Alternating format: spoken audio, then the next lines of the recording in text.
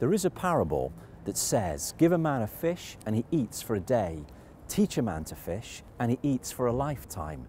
In reality, both are required, and Mustard Tree does both.